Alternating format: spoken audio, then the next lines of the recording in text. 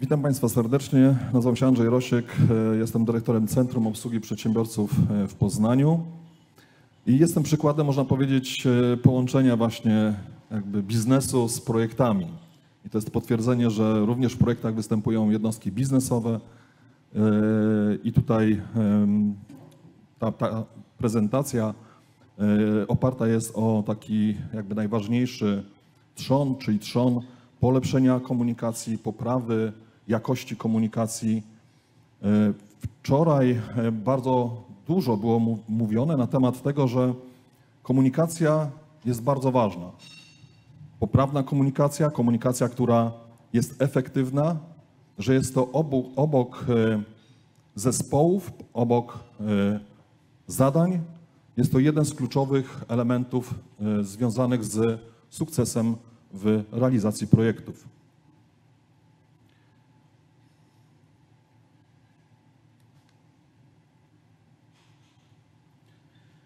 Jeżeli chodzi o komunikację, to można powiedzieć, że e, nie, będzie, nie będę omawiać e, procesu komunikacji, e, nie będę omawiać podstawowych informacji na temat komunikacji.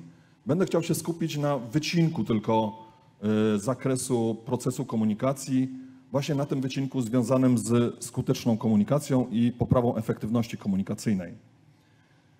Około 30% projektów, które kończą się sukcesem, jest to zakres e, zadań, które są e, jakby bardzo jasno zarysowane, ale również uczestnicy, e, którzy wykonują pewne zadania, mają bardzo zbliżony sam system komunikowania się. Jeżeli chodzi o komunikację interpersonalną, bo tutaj nie będę mówić o komunikacji szeroko rozumianej, tylko raczej w obszarze komunikacji interpersonalnej. Przygotowując się do tego dzisiejszego wystąpienia, e, będę chciał Państwa zainspirować do tego, aby zastanowić się nad tym, w jaki sposób mówimy, w jaki sposób słuchamy, w jaki sposób wysyłamy komunikaty e, do osób, które, e, z którymi współpracujemy. Ta prezentacja jest oparta o jednym ze szkoleń, które, które organizuję, no już można powiedzieć, od 15 lat i wiem, jak wielką wagę ma e, jakość komunikacji, że bardzo często e, sama jakość komunikacji zależy od nas, e, od nas, w jaki sposób my nastawimy się do tej komunikacji. Przede wszystkim można powiedzieć, że komunikacja w projektach oparta jest o różnego rodzaju wytyczne.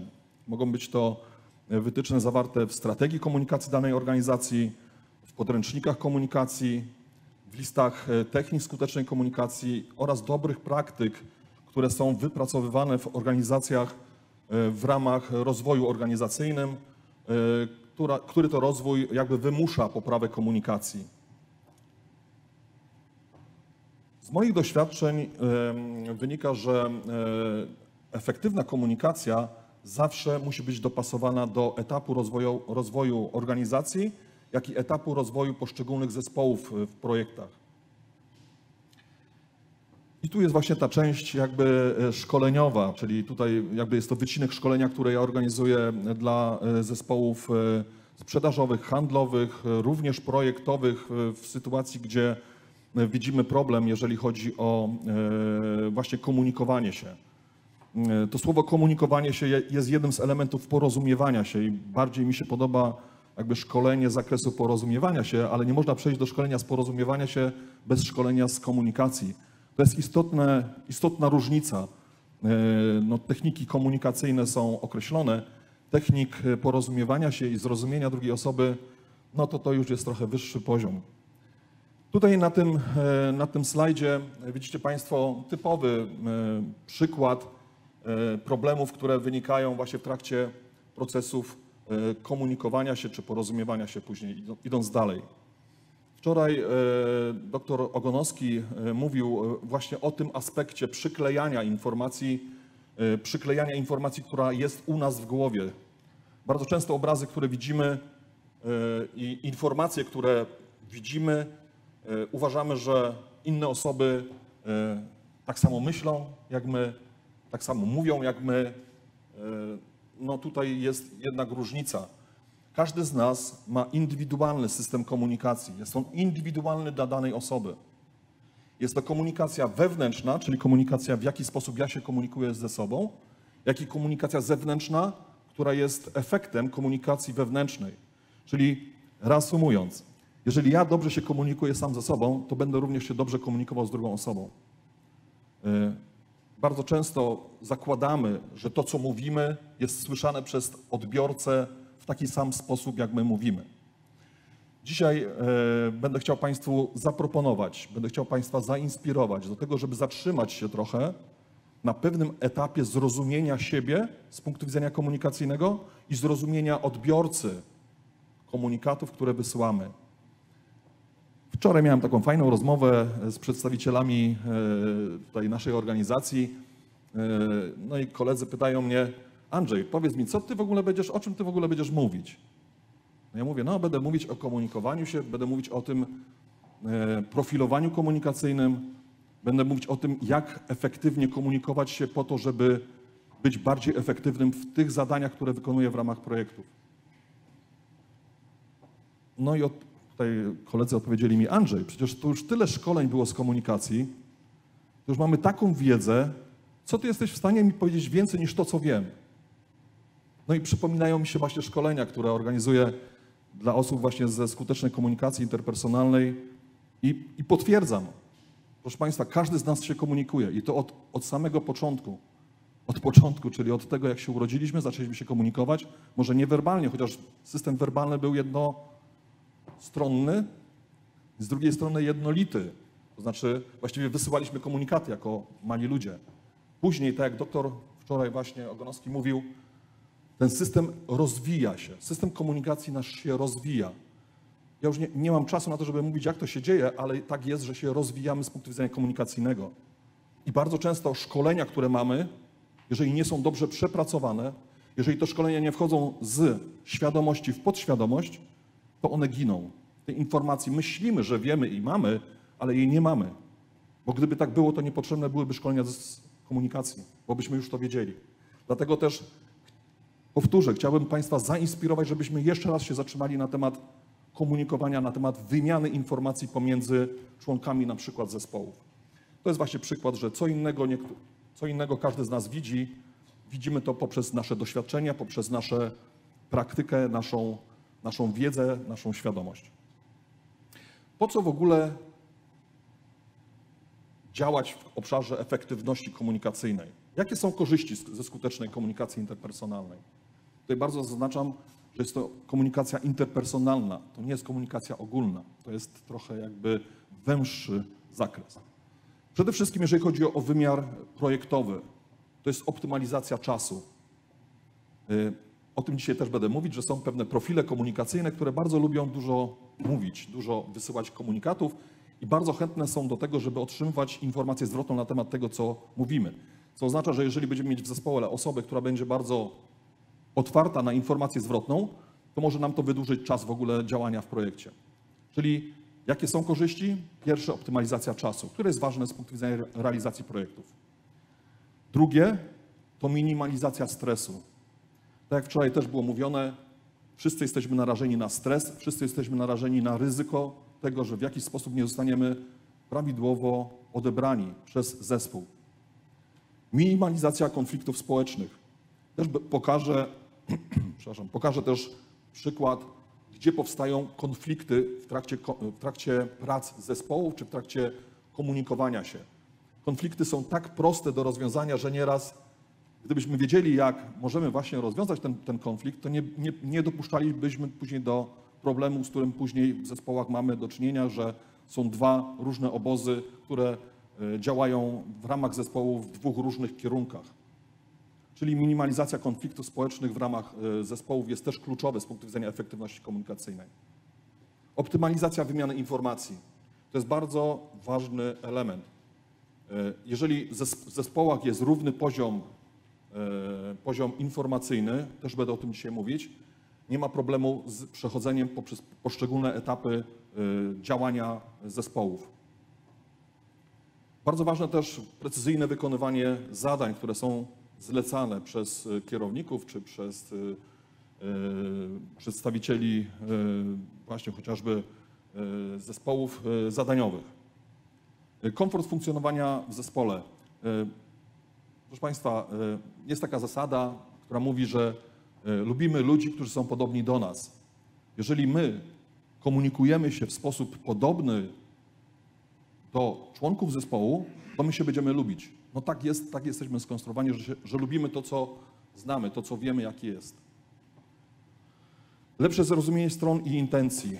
No niestety nie mam czasu też, żeby powiedzieć na temat intencyjności przekazu, ale to jest, to jest ogromny temat, który na pewno zachęcam i inspiruje Państwa do tego, żebyście zastanowili się na temat właśnie intencyjności przekazów i w jaki sposób polepszać tą intencyjność, jak zwiększać bezpieczeństwo w ramach właśnie wymiany informacji na temat w zakresie intencyjności przekazu. To jest przykład e, tego, czego nie widzimy. My tego nie widzimy, ale to jest.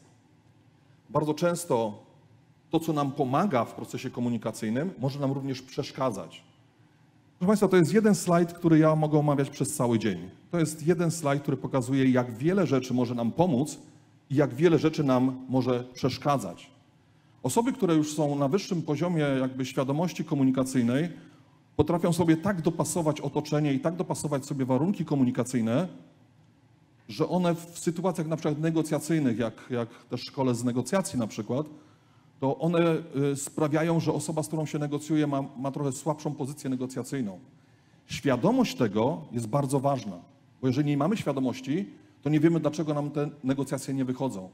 I taka sama sytuacja jest w pracy w zespołach.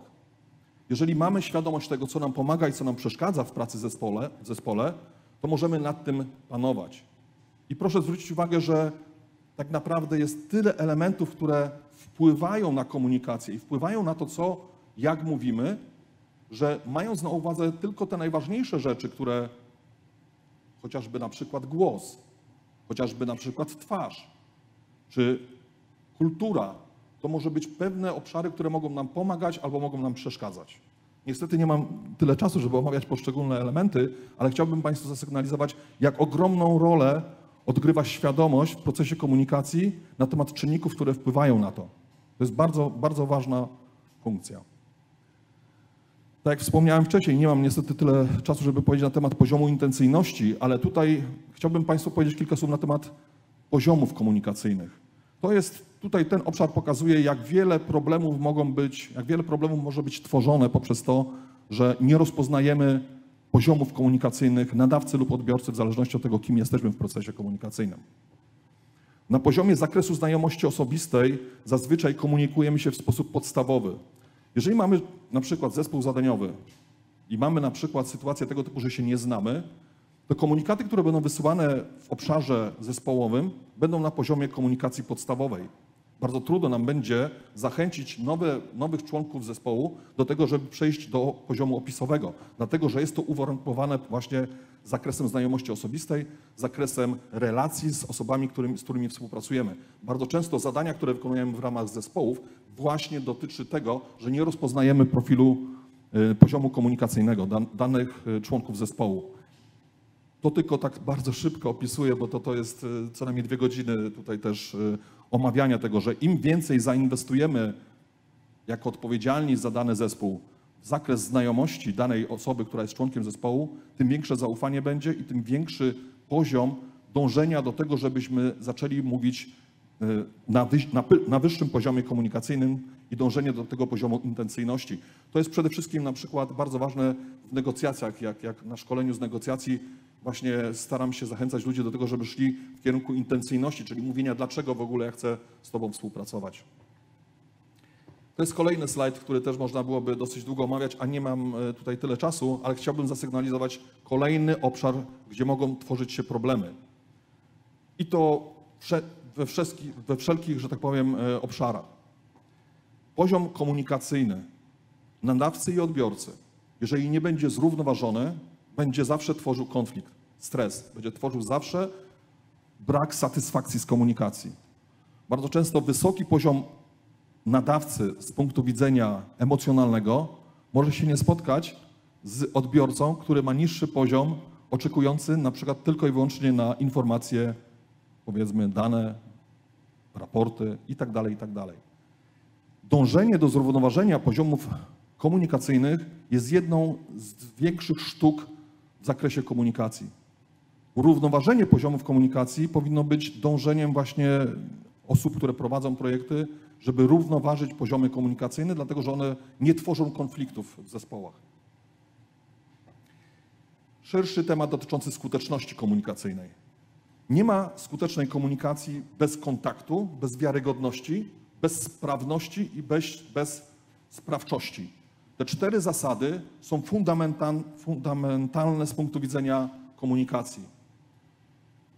Idąc na spotkanie, będąc w projekcie, musimy bardzo dobrze zorganizować czas, miejsce, warunki, rytuał uczestników oraz właśnie określenie poziomów komunikacyjnych.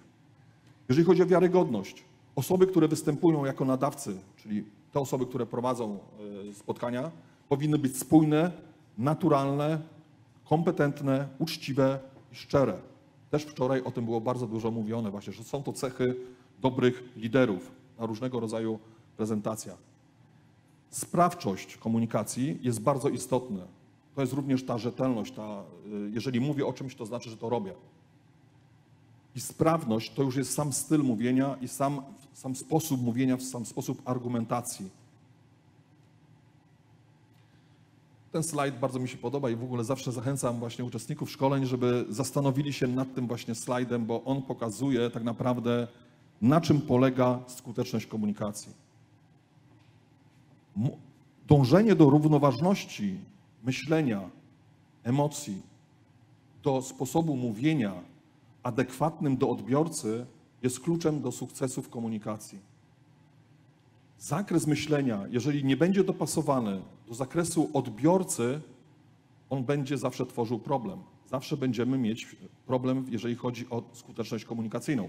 Będziemy coś wysyłać, ale nie będziemy mieć informacji zwrotnej, że ta osoba mnie zrozumiała i że zrobi to w taki sposób, jak chcę.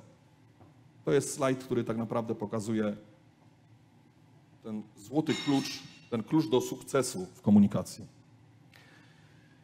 I teraz właśnie wracam do, tego, do tej rozmowy z moimi znajomymi e, ostatnio. E, no dobrze, no to jakie są te przykłady możliwości polepszenia komunikacji? Ja wybrałem właśnie jeden z przykładów, bo tych przykładów jest mnóstwo.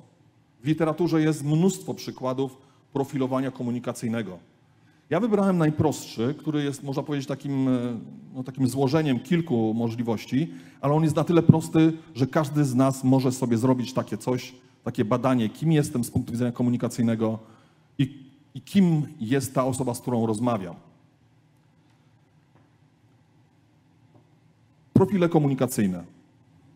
Profilowanie komunikacyjne jest bardzo istotne. Ja, ja, prowadzę szkolenie, które trwa trzy dni i jednym, w jednym dniu opisuję, na czym polegają profile komunikacyjne, w drugim dniu ro, rozmawiamy na temat, jakie mamy profile komunikacyjne i jak rozmawiać z innymi profilami komunikacyjnymi, i w trzecim dniu, jak synchronizować. To są bardzo trudne obszary. Ja Państwu chciałbym tylko zainspirować Państwa, w jaki sposób, w bardzo prosty sposób, można bardzo szybko rozpoznać swój profil komunikacyjny i jednocześnie później dopasować albo rozpoznać profil komunikacyjny odbiorcy i jak dopasować się do tego profilu komunikacyjnego odbiorcy, bo to spowoduje, że ta komunikacja się polepszy. W bardzo prosty sposób e, profile komunikacyjne dzielą się na takie dwie grupy.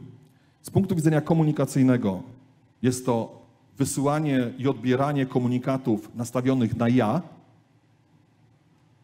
lub na inni. Czyli profile komunikacyjne dzielą się na ja i na innych. Drugi podział profilu, profili komunikacyjnych jest na niezależność i na zależność w mówieniu nie opisuję osobowościowego wymiaru y, ludzi, tylko mówię o sposobie komunikowania się. To chciałbym bardzo wyraźnie wyrazić, że to nie ma jakby oceniania czy opisywania osób. Ja mówię tutaj tylko i wyłącznie o sposobie komunikowania się. Pierwszy profil, czyli nastawiony na ja i niezależność, jest profilem, można powiedzieć, bardzo yy, jednostronno, jednostronnie komunikacyjnym. W komunikacji profil ten bierze odpowiedzialność za komunikację. Tak naprawdę można powiedzieć, że yy, czuje odpowiedzialność tego, że to na nim spoczywa odpowiedzialność w mówieniu i to z natury, z góry tak jest. I też to później słychać. Następnie nie zwraca uwagi na zewnętrzne bodźce komunikacyjne, to znaczy bardzo trudno go rozproszyć. On po prostu mówi. On po prostu z góry na dół mówi. Yy, mówi często o danych, liczbach, konkretnych informacjach. Ustala porządek w komunikacji, to on pilnuje, jak powinno prze- przebiegać spotkanie i ma bardzo silną dominację w, w mówieniu. Tak naprawdę mówi bardzo stanowczo. Używa intonacji z góry na dół. Sam ton mówienia już jest istotny, bo bardzo szybko można rozpoznać, jaki to jest profil komunikacyjny, sam ton mówienia. Dlatego powiedziałem, że tych elementów, które wpływają na cały proces komunikacyjny jest tak dużo, dlatego że każdy z tych elementów wpływa na to, jaki profil komunikacyjny później mamy. Mówi bardzo często o sobie i o swoich sukcesach. To mówienie jest w sposób taki bardzo mm, jednostronny, tak jak powiedziałem wcześniej.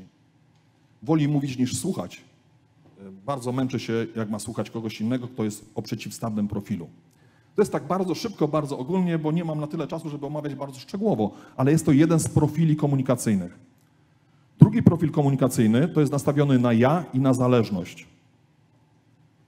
Tutaj ten profil również bierze odpowiedzialność za komunikację, bo jest nastawiony na ja, ale ma na zależność.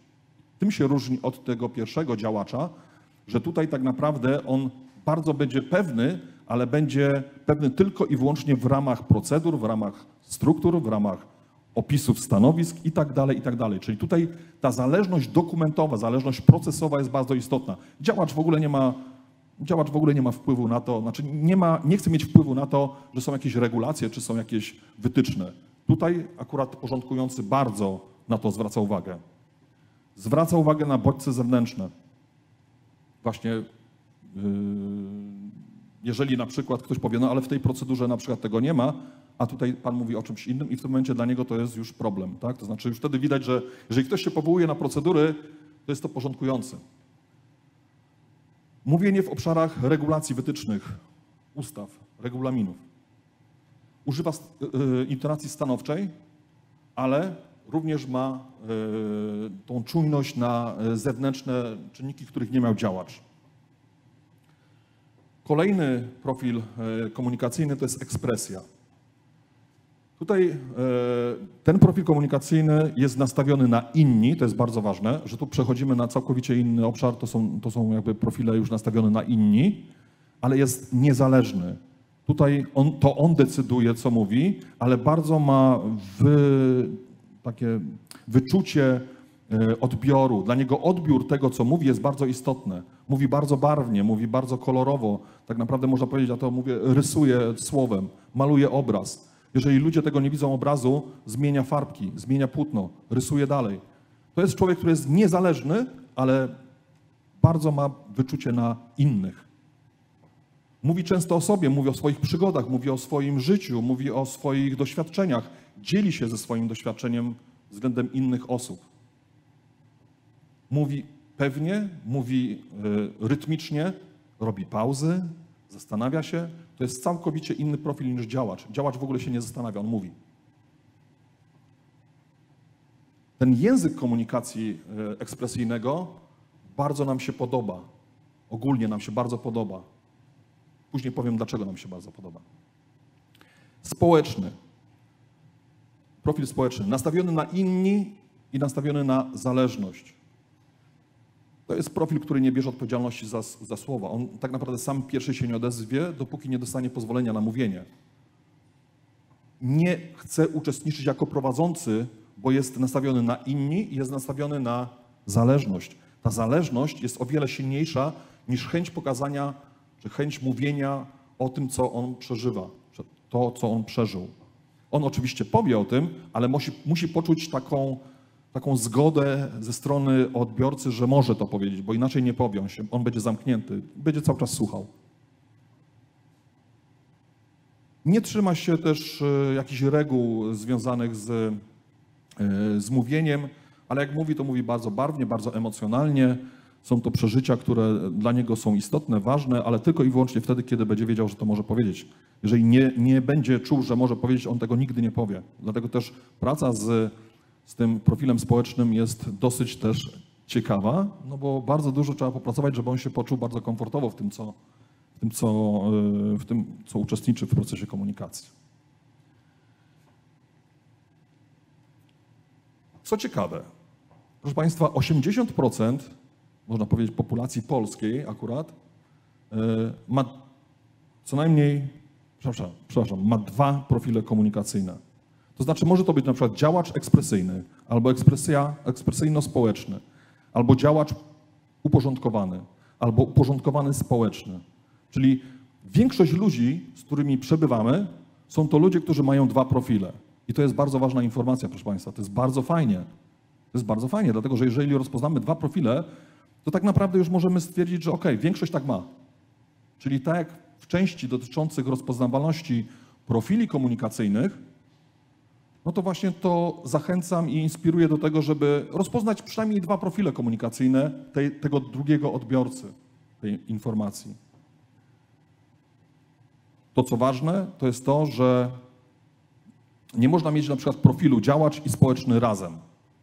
No to to nie da się po prostu. Oczywiście za chwilkę powiem, że w niektórych przypadkach jest tak, ale w większości, proszę Państwa, załóżmy, że ludzie mają w otoczeniu mają dwa profile i te dwa profile, jeżeli rozpoznamy, one nie mogą być przeciwstawne, nie może być ekspresja, ekspresja i porządkujący. To jest, można powiedzieć, no, trudne do, do zrobienia z punktu widzenia komunikacyjnego. Po prostu nie będzie to spójna komunikacja i znaczy to, że ten, problem, znaczy ten człowiek ma jakiś problem w komunikacji. Czyli zakładając, podsumując, większość ludzi ma dwa profile komunikacyjne.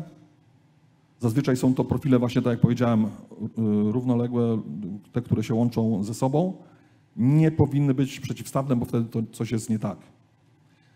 Część ludzi ma, proszę Państwa, trzy profile komunikacyjne. To są wyjątki oczywiście, ale są tacy ludzie.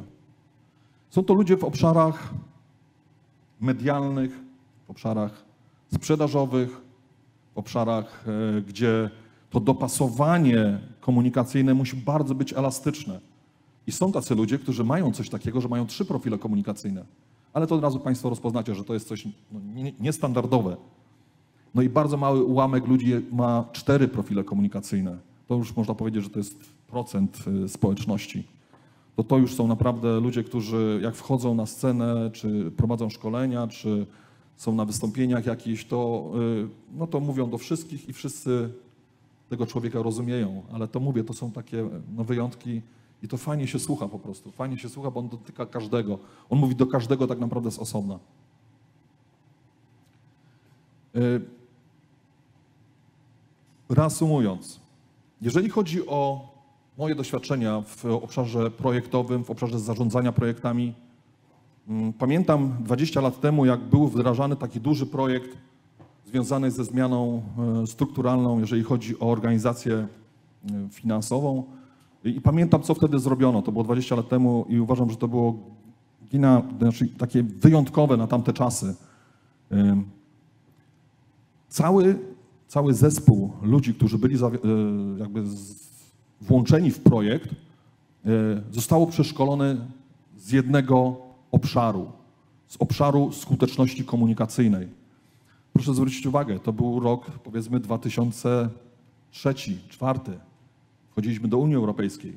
Nikt wtedy nie, nie mówił o tym, że powinniśmy zwiększać skuteczność e, komunikacyjną. Wtedy dla wszystkich ludzi, którzy uczestniczyli w projekcie, było zrobione jedno szkolenie z komunikacji, ze skutecznej komunikacji interpersonalnej. Wszyscy się dziwili, po co nam komunikacja?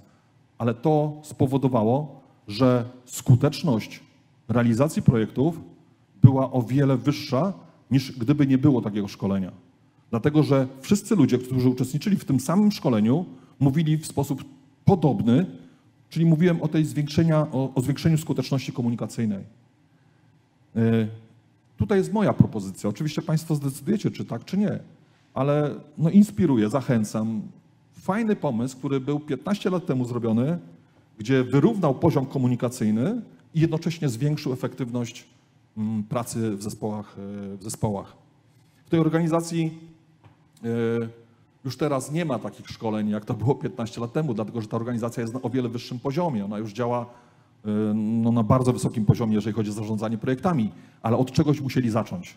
Zaczęli od szkolenia z komunikacji. I wczoraj kilkakrotnie było mowa na temat tego, że skuteczność komunikacyjna jest kluczem do sukcesu realizacji projektów.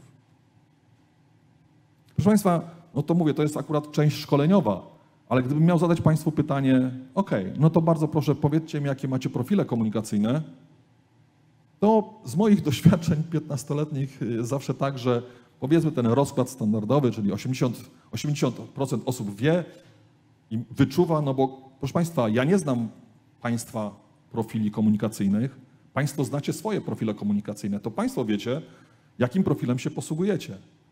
I ta znajomość najpierw swojego profilu komunikacyjnego i świadomość tego, jak ja mówię, czy ja mówię skutecznie, czy mówię nieskutecznie, czy mój profil komunikacyjny jest bardziej nastawiony na działacza, czy odbiorcą jest też działacz, czy odbiorcą jest ekspresyjny, czy odbiorcą jest porządkujący.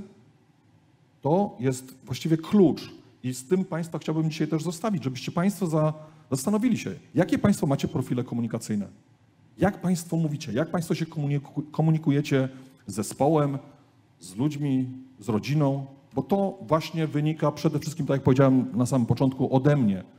To ja muszę zacząć y, tą pracę nad skutecznością komunikacyjną od siebie, nie od tej drugiej osoby. Jak nie zrozumiem, jaki mam profil komunikacyjny, to nie jestem w stanie y, przejść do części związanej z zwiększeniem y, efektywności komunikacyjnej. Tutaj taki przygotowaliśmy razem z panem właśnie doktorem taki mini test. Jak ktoś będzie chciał, to może sobie wejść i, i zrobić taki test i zobaczyć, czy to co, to, co myśli, to tak jest, czy ten profil komunikacyjny się zgadza. I tutaj właściwie tak naprawdę przychodzę do takiego podsumowania. Najważniejszą częścią i najważniejszym wyzwaniem później, jeżeli rozpoznam swój profil komunikacyjny, rozpoznam profil komunikacyjny drugiej osoby, to największą trudnością, i to proszę mi uwierzyć, bo ja to już, że tak powiem, przećwiczyłem e, przez dłuższy okres czasu. Najtrudniej, jak już wiem, mam, jaki mam profil komunikacyjny, to najtrudniejszą rzeczą jest synchronizować do tej drugiej osoby. To znaczy zmienić sposób mówienia do tej drugiej osoby. I tutaj szkolenia właśnie, bardzo dużo szkoleń jest y, organizowanych na temat właśnie synchronizacji komunikacyjnej, bo to jest klucz do sukcesu w komunikacji w zespole, w y, projektowym, czy biznesowym, czy w kontraktach handlowych. To jest bardzo ważne. Bardzo trudno jest nam synchronizować do tej drugiej osoby, jeżeli ona nie jest o tym samym profilu komunikacyjnym. I ta sztuka i ta, ta możliwość synchronizacji to trzeba wyćwiczyć sobie. I tutaj na pewno dzisiaj tego nie jestem w stanie zrobić, ale to jest właśnie na szkoleniach, także zachęcam i, i, i polecam e, wszystkie szkolenia, które są związane właśnie z synchronizacją komunikacyjną. To jest tyle tak bardzo szybko e, i, i myślę, że może będą jakieś pytania. Dziękuję bardzo.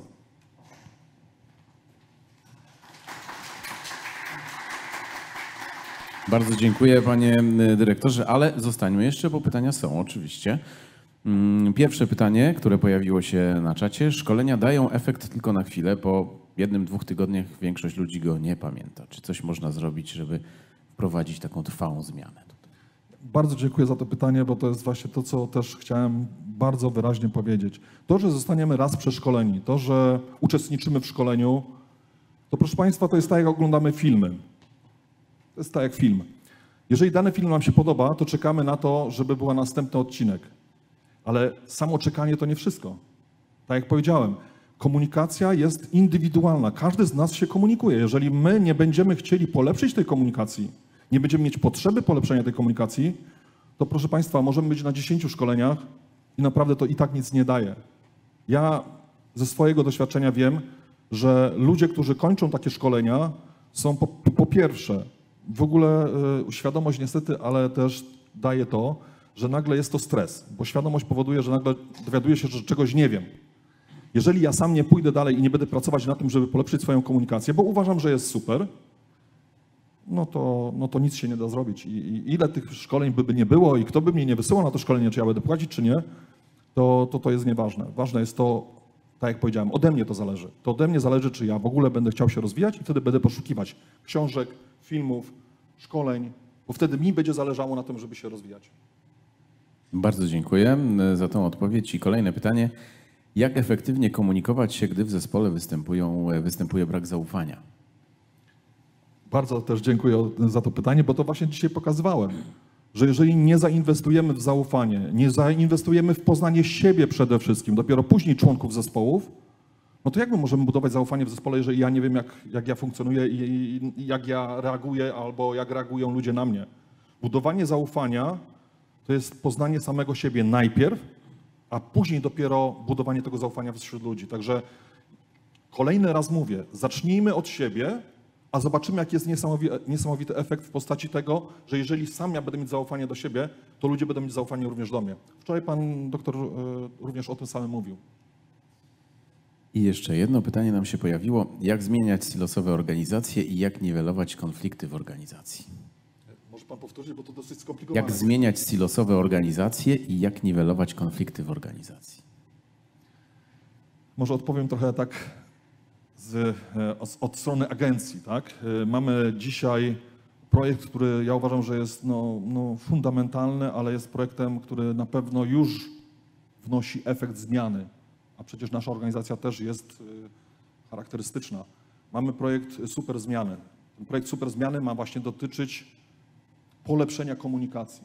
To polepszenie komunikacji, tak jak kolejny raz powiem, zaczynamy od siebie. Nie oczekujmy, że ktoś za nas zrobi polepszenie komunikacji, bo jeżeli ktoś za nas zrobi polep- polepszenie komunikacji, to odbiór będzie taki, jak działacza do społecznego, że odrzucimy to i powiemy, że jest po prostu to w ogóle bez sensu. Czyli zmieniać, tak, ale od dole, od dołu. Zmieniać, tak, właśnie poprzez tworzenie pewnego rodzaju postrzegania, że jakby taka skuteczna komunikacja spowoduje, że wszystkim nam po kolei, od samego dołu do samej góry, tak jak to jest w projekcie, to to będzie działać po prostu. Zacząć od dołu i zacząć budować, e, to nie zajmie na pewno rok, to jest proces, który trwa. Bardzo dziękuję za odpowiedzi na pytania, które pojawiły się na czacie i bardzo dziękujemy za y, wystąpienie. Andrzej Rosiek, dyrektor Centrum Obsługi Dziękuję bardzo. Przedsiębiorców e, w Poznaniu, Agencji Rozwoju Przemysłu. Bardzo dziękujemy.